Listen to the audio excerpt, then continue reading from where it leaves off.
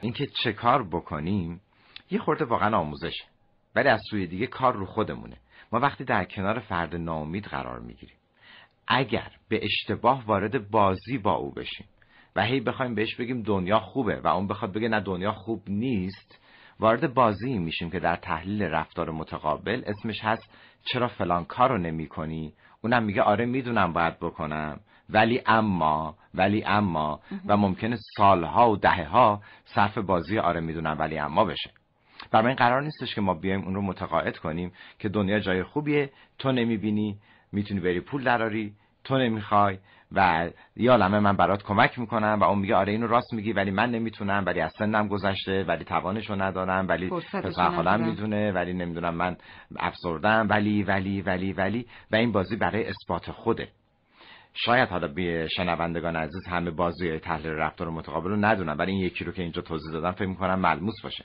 پس قرار نیستش که بریم و او رو متقاعد کنیم که حتما خوبه یا بده. قبل از اینکه با فرد نزدیک ناامیدمون و به قول آقای مهدی فرد سراپا ناامید که می‌تونه پدر مادر همسر و بچه آدم باشه کاری کرده باشیم بعد ببینیم خودمون چقدر امیدواریم. می‌دونین؟ یعنی وقتی خود من ناامیدم یا ترسیدم یا حتی فکر می‌کنم درست میگه او یا بخشی از واقعیت رو داره میگه وقت چطور می‌تونم به اون کمک کنم؟ فرد ناامید اگر ببینه که اطرافیانش حرکت می‌کنن و کامیاب میشن که کامیابی پیشبینی مثبت از آینده بود و همون امیدواری بود خب اونم مخواه به خودش بیاد. از سوی دیگه گفتم قرار نیست بهش بگیم ناامید نباش چون این دکمه که نداره که باش یا نباش. ولی می‌تونیم وارد فضای فکری او بشیم و دنیای پدیدارشناسیش رو درک کنیم که چه اتفاقی میفته که ناامیدیه. آیا این ناامیدی همونجوری که شنونده عزیزمون گفت حاصل از کمال طلبی نیست؟ کامل می‌خواد سریع می‌خواد الان می‌خواد و اتفاق نمیفته پس رها می‌کنه و ناامید میشه و تلاش نمی‌کنه. آیا این ناامیدی حاصل از عدم بلوغ و یک جور کودک معابی نیست که در واقع نمی‌خواد تلاش کنه و مسئولیت بپذیره؟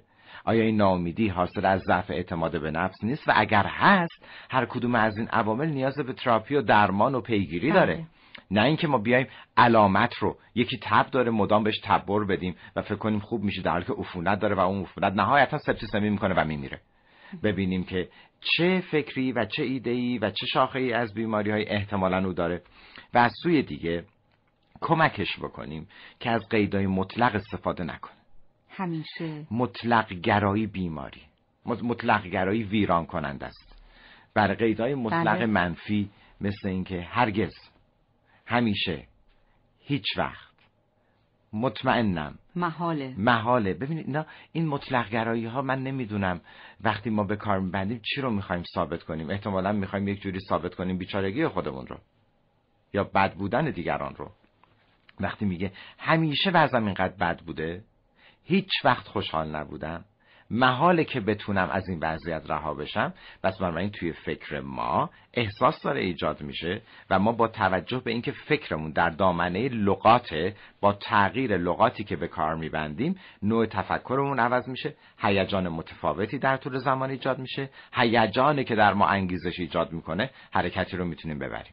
رو به جلو و به رو کامیابی و شاد شدن پس بنابراین قیدهای مطلق و منفی رو بله. حواسمون بهش باشه و اظهارات تلخ و بی سمر که من می‌دونم نمیشه همه چی بده و بخوایم ثابت کنیم که بده که راحت بشینیم تو کنج عزلت بدبخت و غمزده و نامید کنندمون کاری نکنیم مسئولیتی هم نپذیریم حرکتی هم نکنیم و به خودمون حق بدیم که اگه همه چی بده پس حق با من بوده که بده و ببینید که بده. یه همچین افرادی فکر می‌کنم مدام آخر زمانه و قرار همه چی تموم شه یا خودشون قرار تموم شن یا بمیرن. و خب این خیلی خوبه زندگی غیر مسئولانه با انواع قر زدن و ناامیدی در حالی که اینطور نیست و باید ببینیم که اظهارات منفی تلخ و بیثمر رو چطور با تغییر قید کلامیمون می‌تونیم ببریم به سمت نگرشی مثبتتر. و حالا حرکت. حرکتی که کامیابی کنه هیچ کس مسئول خوشبختی و بدبختی من نیست. صرفا این منم که می‌تونم خودم رو به سمت خوشبختی و کامیابی پیش ببرم یا ناامیدی و بدبختی ماحصل زندگی من لحظه که وارد قبر میشم باشه.